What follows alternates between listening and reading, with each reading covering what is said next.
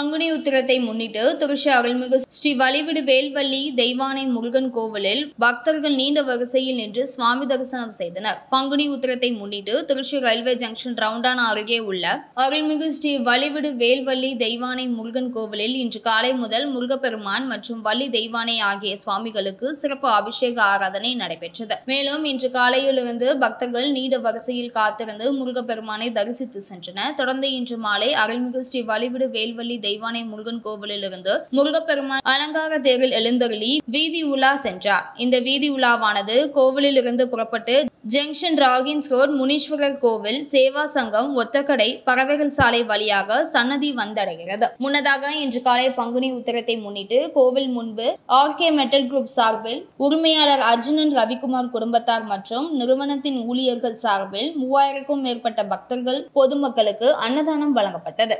RK metal roofing private limited.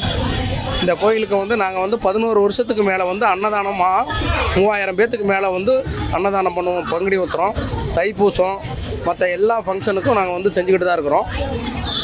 புகழ்பெற்ற கோவில் வந்து சிறந்த கோவில் வந்து இது நிறைய பக்தர்கள் நிறைய வரதுனால வந்து பங்குனி உத்திரம் மற்ற மற்ற தைப்பூசம் எல்லாமே எல்லா ஃபங்க்ஷனுக்கும் நாங்கள் செஞ்சுக்கிட்டு இருக்கோம்.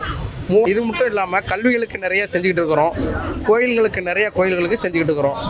முடிஞ்ச வரைக்கும் நல்லா செஞ்சுக்கிட்டு இருக்கிறோம். இன்னும் ஃபியூச்சர் நிறைய செய்ய போகிறோம் இதுக்கு கடவுளுக்கு நன்றி சொல்லணும் சொல்லணும் நாங்கள்